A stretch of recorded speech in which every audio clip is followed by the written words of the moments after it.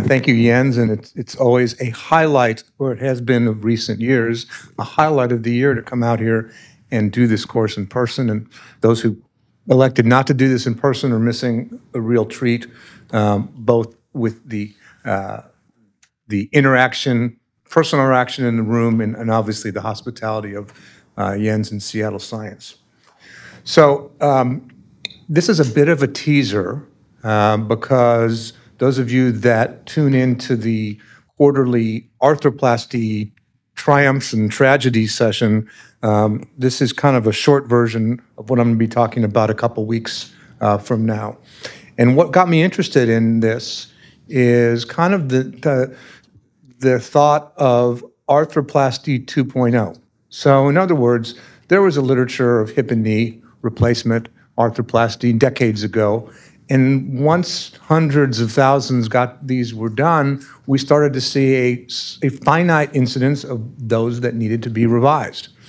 And while the, and you'll see, while the incidence of the necessity for revision in cervical is less than that of hip and knee replacements, um, with the hundreds of thousands of these being done now, we, we know that there's going to be not an insignificant amount of revisions that need to be done.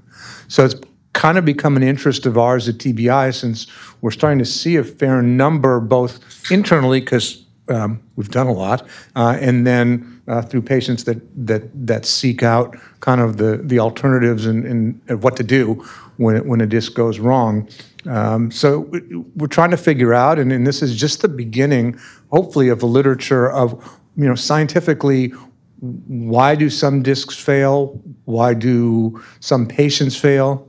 Uh, and then what's the best option for keeping these patients' function intact, whether it be with conversion to fusion uh, or, or, or motion of, of, actually a revision arthroplasty, just like a revision hip or knee arthroplasty. So um, with that kind of foundation, um, I'm going to talk for probably about 20, 25 minutes uh, because that's what I've been assigned, uh, about this topic and uh, leave some time for discussion because it, because it is an interesting topic. It's new. There's a lot we don't know, and there's a lot that we're learning. Um, every six months, we seem to be learning something new. so, in, in, analyzing the kind of the etiologies, the reasons um, for failures, uh, what are they? Obviously, uh, surgeon or technical error, including patient selection, which is always number one on everybody's list. Uh, we got to look at the biomechanics of different devices. Uh, biological reasons for failure. We're starting uh, to see some, some C. acnes infections and osteolysis and such like that. Metal allergies seem to be more prevalent, maybe just because we're asking about it now. Uh, implant migration um, and, and, other reasons, post traumatic failures of discs. So, uh, I didn't do that. It's, let's just put it down here. Thank you. Um, so, you know, as arthroplasty surgeons, both us and, and the, everybody else out there that has adopted this technology should be aware of the types of failures and really have a strategy for addressing these situations. So, by way of introduction, we were trying to figure out okay, what is the rate of TDR removal or revision? And we went back uh, to our case series back all the way to when we did our first IDE case back in 2003. Uh, so we've got 20 years of data looking at our own internal captured data, whether it's single level, double level, triple level, hybrids, whatever. Whenever you put in a disk, uh, we were able to kind of capture a denominator, which is something that very few series out there uh, ever give. So about 1,470 patients, uh, beginning with our experience, and you know, to, to get to the quick, uh, there were 20 cases or an incidence of 1.36% of revisions or removals. And if you go by devices, uh, it, it's 1.1% because because obviously we do a fair number of multi-levels and things like that. So you know, with, with that data in mind, we can really start to compare to the other arthroplasty literature, shoulders, hips, knees, ankles, et cetera, and, and really see kind of where we stand and, and, and what we expect going forward will be kind of the load on us to do revisions. Um, so based on this, we, we, we wanted to analyze all the revisions that we've done because you can learn a lot just from retrospectively kind of analyzing why discs needed to be revised and, and what you did. So, you know, we, we looked at all our revisions or removals uh, done at our, our clinic. Um, and we used the definition uh, of the FDA guidance document for removal or revision. And based upon uh, those definitions, uh, we examined our surgery logs of patients who underwent removals revisions. We looked at some demographics. We looked at the reason, duration, and subsequent procedure performed. And um, you know what we found was um, the the demographics. You know the the only thing that was surprising is that we seem to have more females than males, which did not really correlate with kind of our overall demographic. And as we get into this, I'll kind of give you a, a reason why I think that might be uh, the case. Uh, but in our series, the meantime, 37 months in the range, obviously uh, immediate when you had to reposition something, um, you know, a day or two after, to out to 216 months. So based on that, we were able to add another cohort of patients. So we're up to 42 patients, and since I put this data together, we've had two more, and we've got another one coming up in a couple weeks. So the, the cases are adding up. Um, and in 31 of these patients, the disc was removed and converted to an ACDF. But in 11 patients, they were able to we were able to maintain motion and either reposition an existing arthroplasty uh, in one patient, uh, or rather convert to a different arthroplasty device, which um, I find to be kind of an interesting uh, way to look at the you know and really study the biomechanics of different devices.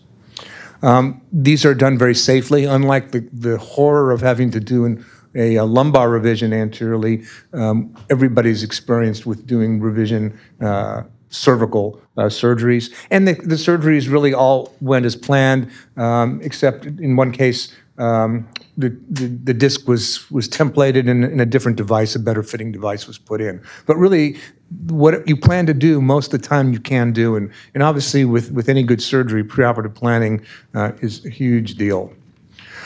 All right, so removals for revisions. And, and, and, and this you know, initially opened our eyes, and the most common reason was osteolysis. And osteolysis is something that uh, has been uh, become more and more prominent. In fact, I was uh, teaching a, a Zoom uh, disc replacement course last night, and four of the six surgeons were in their first year practice.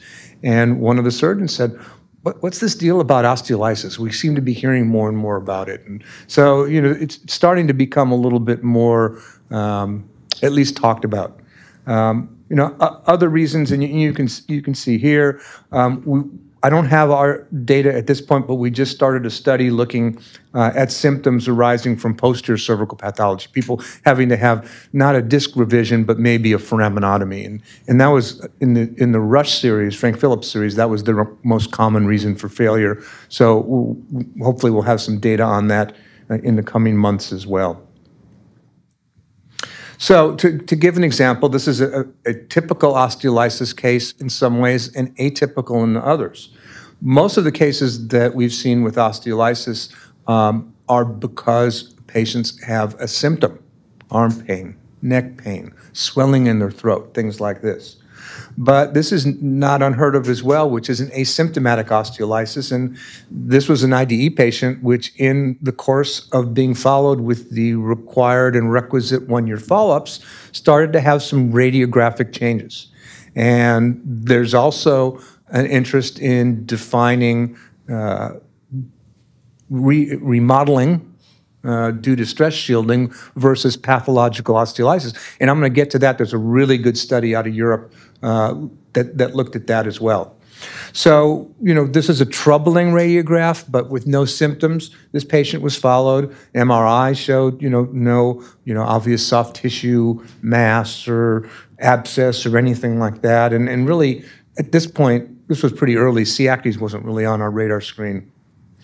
Um, but we kept following the patient, and the radiographs kept getting more and more concerning. And, and uh, there were uh, four of us that were in investigators in this IDE, and we, we put our heads together and, and said, you know, we really need to look into this further. And we decided to get a CT scan. And at that point, you know, we didn't really know what we would find, but now we know that the CT scan is really the way to diagnose uh, physiologic remodeling versus osteolysis. And, and this is patho- pathognomonic. This is, this is absolutely spot on for osteolysis. Peri, progressive periprosthetic cysts. Um, it, it, it, fits the, the FDA definition um, or the NIH definition of osteolysis. So, you know, again, patients doing well. It's hard to convince them to have a revision when they're not having symptoms, but we were worried about the biomechanical stability uh, at this segment. So the, the device was explant, explanted, and, and the devices that we've explanted um, all seem to have the same failure mode. All the devices have failed, usually, in fact, predominantly with disarticulation of the polyethylene strands from, from the metal end plate. Sometimes the core stays in place, sometimes the core pops out and is sitting in front of the spine. Um, no obvious purulence, but, but just some kind of non-specific fluid in front which we went ahead and cultured. Uh, the surgery is pretty straightforward. Take the device out, curette or burr out the cysts, and, and provide stability by doing uh, a fusion. Uh, the pathology was consistent with an inflammatory response with, with perhaps uh, some wear debris. Uh, and in fact, um, it did grow out C. acnes, and, and we can talk about you know, how we treat that pharmacologically because that's somewhat controversial as well, whether to whether to consult ID and go with their big guns or, or just treat with doxycycline oral, which which is kind of what we've gone to at this point. Um, another very common example of cases that we've seen for revision uh, is this concept of hypermobility. And this seems to be more pre prevalent in women. And I think that's maybe why we're, we saw in our overall series more women revisions because um, this, you know, it, you know, we've you know kind of gone to this concept of thin, hypermo- thin-necked, hypermobile women um, maybe need a little more constraint in their discs. Um, we can thank uh, Pat, Dr. Pat Worden and, and my partners who worked on the biomechanical paper that he presented at NASS last year that at least provides, I don't know that it's going to become a white and Punjabi standard, uh, but he, in his biomechanical studies, defining hypermobility as more than 15 or 16 degrees of motion, which is what I've used in, in, in the clinic to kind of measure these patients. Um, it may become the gold standard. Who knows whether that's going to be uh, but this patient also had symptoms, and you know, just because the disc is hypermobile and routine follow-up, again, if they're not having symptoms, you know, we treat the patient, not the X-rays. But this patient had symptoms um, and was uh, revised to, you know, people throw around the term constrained, more constrained, less constrained. Again, there's no definition for that. How about um, you know, a device that has a single uh, uh, point of mobility as opposed to uh, multiple points of mobility. I, I think um, you know that that kind of makes more sense to me. Uh, but most people consider uh, the this is the original ProDisc. I call it the OG. You'll see the new ones tomorrow. Uh, but the but the OG is a great revision disc. This was the paper I was talking about um, from European Spine Journal that looked at periprosthetic bone loss and made an attempt, and I think a pretty accurate attempt, to define pathologic versus physiologic. And this was a systematic review, and it differentiated different types of bone loss and compared it to osteolysis. So periprosthetic bone loss they found was common, occurred early, didn't require intervention, and you know it, it was kind of a byproduct uh, of, of Wolff's law, basically, stress shielding. Osteolysis is pretty rare, occurs later. In their series, more than not, the patients required reoperation. And they felt in this paper the etiology, metal sensitivity, infection, mechanical failure, wear debris. I think this is a pretty spot on paper. Uh, this was a case report, which is interesting that you know, Todd Albert can get a case report of something that we have a dozen or so of these cases into JBJS, but because he's Todd Albert, he gets it, you know.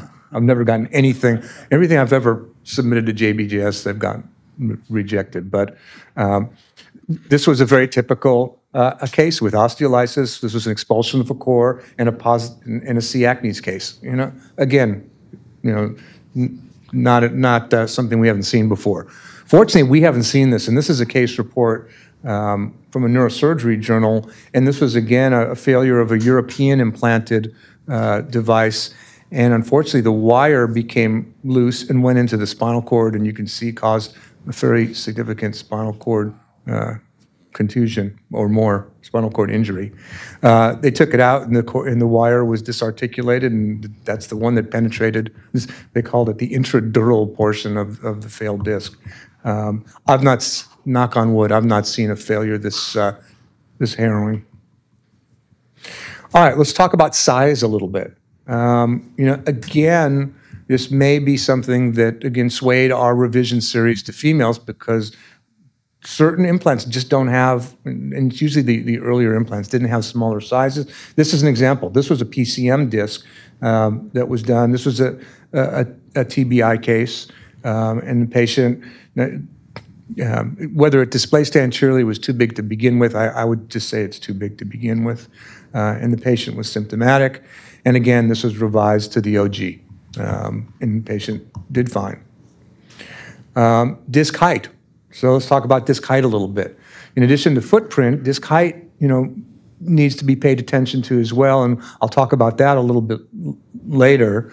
Um, but you know, while restoration of disc height of a collapsed segment is the goal, there are potential problems with overdistraction, and and as we've gotten more comfortable with the technology, we've used them on more older spondylotic patients with collapsed discs, and not all of them need to be restored to a 20-year-old disc height.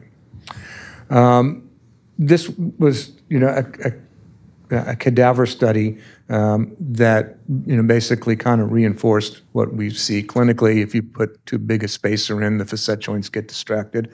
Um, that's okay. Uh, this study out of Asia found distraction of a disc space uh, or over distraction was associated with an increased incidence of heterotopic ossification. Um, another study looked at footprint mismatch and found that undersized implants can lead to problems as well, subsidence, loosening, HO, you know, again, I don't understand that, but, uh, or just biomechanical failure uh, based on load. This was a study I was talking about before um, on, on height matters, and this is, this is Rick, Rick Guyer's paper, and this was based on the data uh, from the Simplify IDE, and it looked at uh, disk space height uh, levels and found that a majority of them had heights less than four millimeters.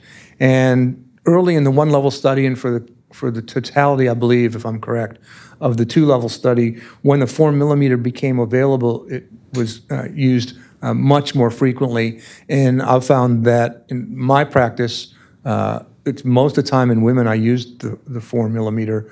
Um, and then in the very collapsed disc, when you don't want to over distract.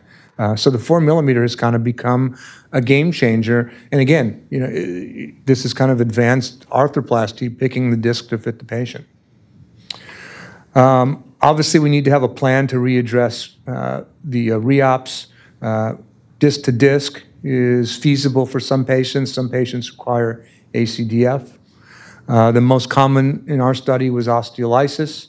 Um, other authors have found that as well. The Australian, there's two Australian papers that found a high incidence of osteolysis, and uh, which necessitated implant warning in Australia uh, for the uh, uh, M6. Um, many patients have some degree of osteolysis post-disc replacement that doesn't develop into a clinically significant problem. And you know, when we see these type of scenarios, we recommend, as we do with all our arthroplasty patients, routine yearly follow-up. And if you know issues arise, um, we'll, we'll, we'll, work it up further. And this is kind of the we're working on um, a grid to work up these patients, and this is really rough. We're just putting this together. Uh, but suspicious X-ray, we'll get a CT scan. Asymptomatic, if it's mechanically stable, we'll just continue to observe. Uh, if it's progressing or if it looks like there's not sufficient mechanical stability that you're comfortable sending out that patient to lead a normal life, you might recommend revision as we did in that case that I showed. And if it's symptomatic, uh, we remove the disc and do an ACDF. And always culture for C. acnes. Um, and, and, as you know, C. acnes uh, requires holding on to your cultures not more than the 48 hours. It's usually two to three weeks. Although the last case I did um, cultured positive for C. acnes in four days. I've never seen one that quickly. Interesting. So general strategy, um, with osteolysis, clearly, I think doing, not doing a disc to disc, but converting to an ACDF, um, I'm, I'm pretty convinced that just curetting out or burning out the cysts and creating mechanical stability is what cures these patients. We feel better giving them six weeks of doxycycline, but is that really a game changer? I, I, I don't think so. Um, you know, if mechanical stability and good end plates you can preserve when you're doing these things, then I think a disc to disc is a very, very feasible thing. And there are certain scenarios, hypermobility, uh, disc migration. As long as they, as long as you've got end plates, uh, I think it's a it's a really good salvage. Um, last year they were here, but I want to put this in here anyway. This is for our friends down the coast in LA. What about motion restoration? Uh, this is a rare scenario in our center. I think we've done an N of three, so the LA people are much better to talk about this than me. Uh, but I'll show a couple cases, one that went well and one that did not. Um, this uh, was a patient who had, uh, as you can see, a non-union with what appears to be relatively uh, well-preserved end plates. I think you go into these cases, even if you're going to try to, to take down a non-union and do an arthroplasty, you tell the patient that there's still a pretty good chance you're going to have to do a fusion because I, th I think finding pristine end plates in this scenario is pretty rare, which is why it's, at least it's pretty rare at our site. Uh, But again, um, we were able to revise this one and mobilize the disc and, and restore motion. This, this was uh, not as pretty a case. And this is a long story, but I, I'm going to try to make it shorter. Um, This was a 48-year-old female who had a herniated disc, got better, got worse, uh, and eventually underwent an ACDF. Patient did well for a little bit, then developed recurrent arm pain and had a new herniation below it at C6-7. So uh, one of our partners, uh, this is again an in-house case, one of our partners uh, said, well, you know, it's a perfect patient for an arthroplasty at C6-7, um, you know, but it's got a non-union at 5-6, so why don't we just revise it to a two-level arthroplasty and technically, it looks like a pretty darn good job. Patient did well for a while. then the patient started to subside and has symptoms. One of the problems with taking down fusions, uh, it's really hard to preserve good end plate. Um, so what do you do next? You turn it back into a fusion and, you know, triumph of technology, let's do an MIS fusion with the DTRAX. Let's do that one. That's going to work, right? Well, it did for a little bit. And the patient started having pain again, and flexion extension films showed motion, so it didn't really heal. So the next step was okay, uh, let's do a wiring. So wired the patient, did a posterior cervical, formal posterior cervical fusion. Well, patient did well for a little bit and then didn't, and uh, the wire broke. Or no, the spinous process broke, it cut through. So now you're on this patient's like re, re, re, revision. There you go. And I finally got around to taking the arthroplasty out and re, re, refusing at uh, C56. And uh, at this point, that's the end of the story. But uh, my partner's going to keep me abreast if there's another if there's another chapter to this story. But Anyway, to summarize, the rate of cervical TDR revision removals is low in our series, 1.4%. Uh, be aware of C. acnes and have a revision strategy that's going to work most of the time, hopefully. So that's all I got.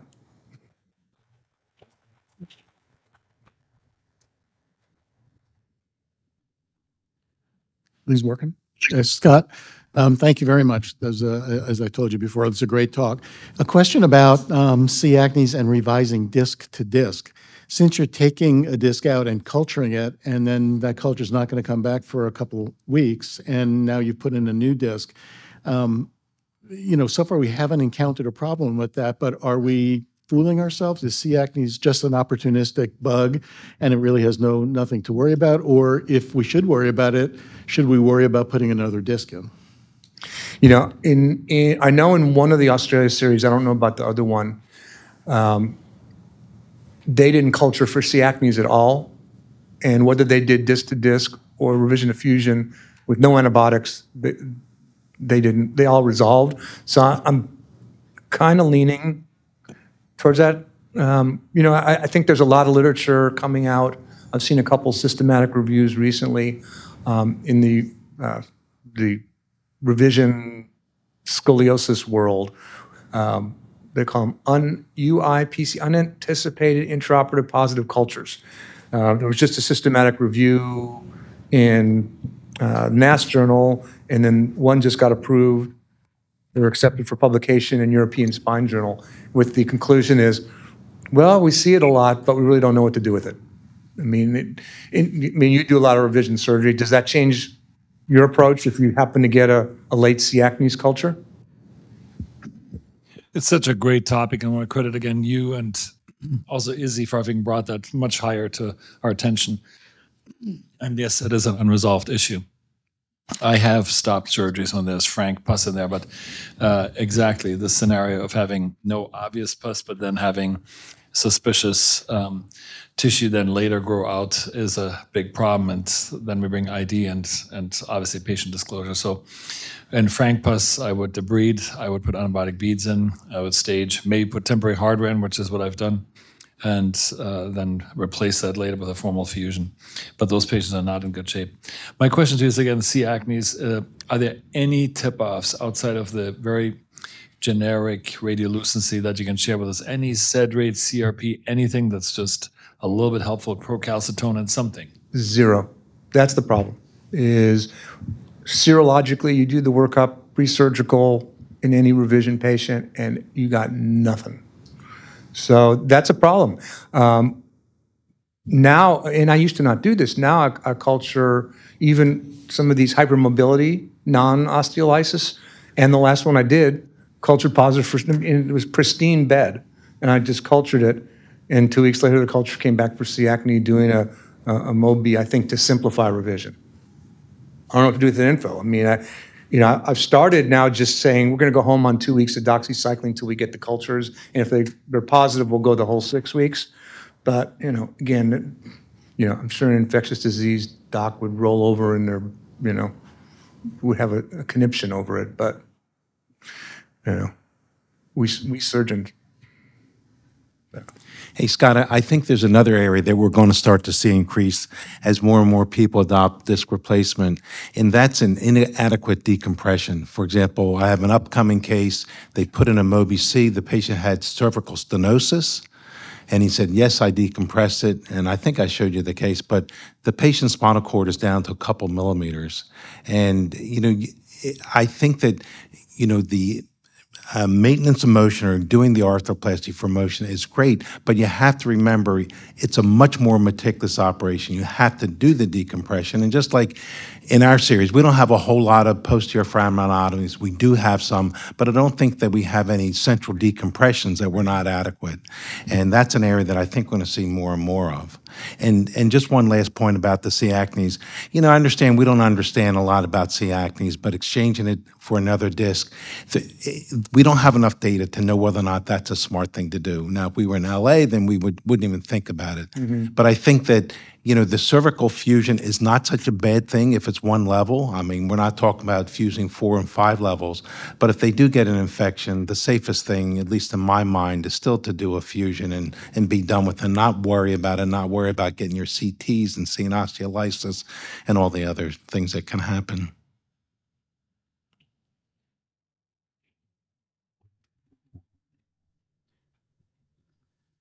Scott, a question about the disaster case that you showed that, that had to be revised so many times. Uh, You know, we, we have not used BMP in the neck um, since the FDA came out with a warning and, and case reports started to pop up. But, um, you know, the other dictum in, in our, our kind of surgery is uh, you're a fool to keep doing the same operation over and over again, hoping that it'll, you know, you'll get a different result. So is this a case after doing, you know, the third or fourth time trying to get an interbody to heal, um, where uh, you might want to use, if, if it was your patient, uh, BMP? Is there any circumstance you'd use BMP in the neck for? Well, one, one of our outside of U.S. surgeon friends uses a small one-fourth corner of a, of a small sponge and- and uses it routinely for cervical fusions. I mean, it's got to be, we, you know, it's, it's dose related, but um, we just were foolish enough at the beginning to just put in a, you know, a sponge and that was more than the biology could handle, I think.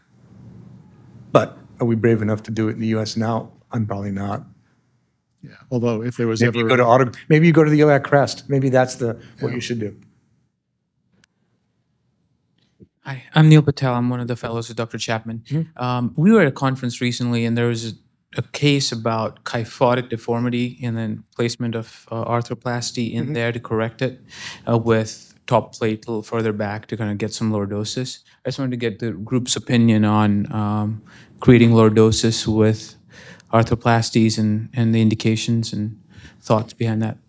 you know, as, as we're doing more older patients, when the, when- in, in every place in the spine, lumbar cervical, when a disc space collapses, you lose your normal lordosis. What do they call it? Aging is a kyphotic condition. Is that what they call it? Aging a kyphotic condition. Would I treat a global kyphosis with the disc replacement? No, but, you know, if you've got a couple flat discs, you're gonna, I mean, by definition, you've lost your normal cervical lordosis my experience, and we'll hear from the other guys, is just doing your distraction and putting in an arthroplasty, the soft tissues tend to restore your lordosis. A couple of discs do have lordotic end plates. Anecdotally, I've used them, and I don't really see that they're any better at restoring lordosis than just getting good mobilization of this space and distraction to, you know, whether it's physiologic or just short of physiologic disc height. would you put an ADR in for a fixed segmental kyphosis though, Scott? I I don't think so. Yeah, I think that's the issue. Yeah, I mean, I think it's a structural multi-segment kyphosis, the answer would be no, or if it's fixed even at one segment, if it's, you know, not moving on flexion extension. Yes, that's, that's a great point. I don't know. Now, granted, th- this is not the severe kyphosis that maybe was implied, but a lot of times when patients have cervical radiculopathy, you'll see they have kyph- kyphosis. What they're trying to do is to bend their neck forward so they're not, so they're taking the pressure off the nerve. So those patients, I don't have any, and I don't think any of us have any question about doing them. But um, a little bit of kyphosis, as Scott said, once you restore the disc height, you can reverse it. I'm not saying we will correct it, uh, but at least you can get them back to neutral. Thank you. Uh, not to bring it away from the discussion about kyphosis, but you sprinkled in a few times uh, talking about the more and less constrained and axis, axes of freedom with these arthroplasty and how that uh, affects our failure rate and the considerations in osteolysis. Uh, and I guess in my thought, maybe I'm maybe I misheard or maybe I misunderstood, but to me, like a more constrained plate, you have greater surface area, you have more osteolysis, and by being more constrained, you portend uh, towards more loosening at the junction of the implant and the bone. And so, I guess how much do we understand, if if at all, from from data collection uh, when we use like these more free implants versus the constrained implants? If osteolysis is our main mode of failure in these, and the more free implants are are doing well, uh, I guess maybe just for me buckling down on that a little bit, uh, if if that makes sense. No, no, I know what you're saying. And I think interestingly enough, much like in the hip literature, I mm-hmm. think osteolysis is a wear debris problem. It's a reaction to wear mm-hmm. as opposed to the, the, the degree of freedom or the, or the mechanics. I, I think osteolysis is biologic reaction to wear debris. Mm-hmm. And, you know, that's why it's seen more frequently in, in discs that give off more wear debris. Um, so, you know, I, I, I know where you're, you're getting with it, but, and, and, and frankly, technically, when we teach these things, we, you want as much end plate coverage as possible. Right. Um, the, the biology of, of the titanium mesh that all these discs have are really good. I haven't found a disc that, you know, has more loose end plates than another. They all stick, believe it or not. It, it's a very, you know, favorable environment for bony on growth, um, more, even more so than lumbar. Um, but I think the, the osteolysis issue is, is more based upon mechanical failure and wear. Yeah, and, and there's certain discs that are going to have a higher incidence, but like the fixed core, for example, the ProDisc, but the granddaddy of them all, we see very, very little. There's been a few cases reported, but you know, very, very rare to see that instance. So it's not really a matter of shear. I think it's what Scott just said. It's really a matter of wear debris, and um, you know, fortunately, it's it's very, very rare. And you know, I think certain materials are more predisposed to it, though. Does I, because I don't I don't really know the engineering in some of these discs as well as maybe I should as a spine fellow. Um, is the is the constraint coming from contact on the poly, or is it coming from a metal articulation? I mean, I'm sure it's different from device. It's a, as I mentioned in the talk, it's a, it's a definition we've thrown around but never defined. yeah. You know, so for example, the ProDisc has, you know, one area of motion, in mm-hmm. ball and socket. The Mobi has a pretty unconstrained core, although it does have constraints within the, I don't remember whether it's the top or the lower end plate, but it seems to move more than, for example, the Simplify has just, just has like a millimeter or so of motion in the tray. So you know, constrained, I don't, you know, I don't know what that means. No one's ever given a great definition for it. Even if you ask, like last year, Lisa Ferrara was here, she couldn't even define it because there's just not enough agreement. Yeah, but to respond to your question, it's the, the poly and the, and the um, end plate, that motion is pretty friction-free in, in all the implants. So what, what uh, Scott's describing is, is what happens between that nuclear, you know, part of it and the lower end plate. And some of them are fixed, so that eliminates that extra motion. Others, like the, uh, Scott will show us the Charité tomorrow because he was the investigator for that. It was just a biconvex saucer that had, you know, no constraint either top or bottom, It was friction-free, which in the lab looked great and got everybody excited, but in the body um, was really tough to um, control it. It had to be put in exactly right, and, you know, patients had to be straight up and down. So, eh, you know, in between those two extremes are the ones that have some motion of that nuclear port, whatever it's made of, and some more, some less. Um, and you know, the, so that's where the, the difference is in, um, range of motion and allowable range of motion are from device to device. And we're just scratching the surface. This is, this is new, new technology, new science for all of us. Even though we're 20 years deep in it, um, we are just peeling the onion layer by layer. And, you know, what's nice is this is another layer that we're, we're starting to explore. Well, thanks. uh, Excited to have you guys here. Thank you. You know, the other thing to consider, uh, Scott showed our data, which was 1% revision rate, and that was with, uh, what's the, the length of time, Scott? It was up to, Well, 20 we only followed patients that we had two-year follow-up on, so it was two to, s- two to 20 years. yeah, two to 20 years. So that, that's not 20 years total, but if you look at the total knee and total hip literature, the normal revision rate is between 4 and 5% at 10 years. So when we first started doing these artificial discs, at least in lumbar spine, we thought, well, if they last 10 years and we have to do a revision, not a big deal. It is a big deal to do a revision. But what we, we found was that our revision rates are extremely low compared to the traditional hip and knee joints. So they're very, very durable and beyond what we thought originally. The case that you showed um, was concerning. There was obviously something not right. But one of the biggest problems, and I'm speaking as a disc arthroplasty fan, is when we have patients who are unhappy and have continued pains. How much do we validate that pain by uh, looking more and more at pain generators and interventionally more studies?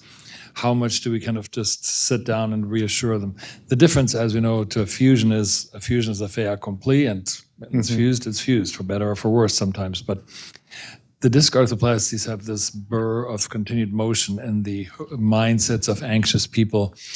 And so I'm just wondering, uh, how do you find the right balance of reassurance, interventionalism, um, investigations, et cetera? No, that's, it's a great unanswerable question. I mean, as you know, it just comes with experience. You try to be very reassuring, but if they keep coming back, you, you've got to start working on pain generators, whether it's, if it's radicular pain, nerve root blocks, if it's axial pain, uh, facet blocks.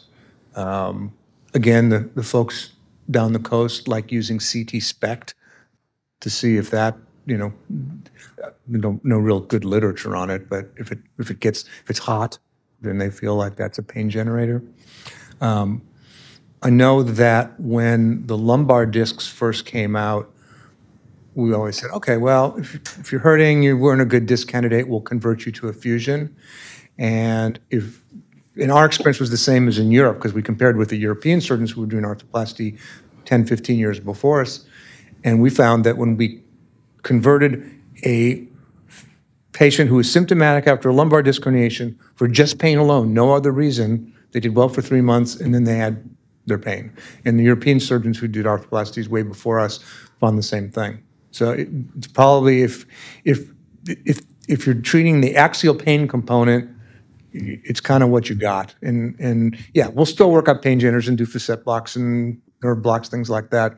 But, you know, of course, here's another question. You know, maybe you have an indolent C. acnes infection, but you don't have a way to, to diagnose it except by doing a revision. How about that? I don't know. No. How was that for a non-answer? No, no.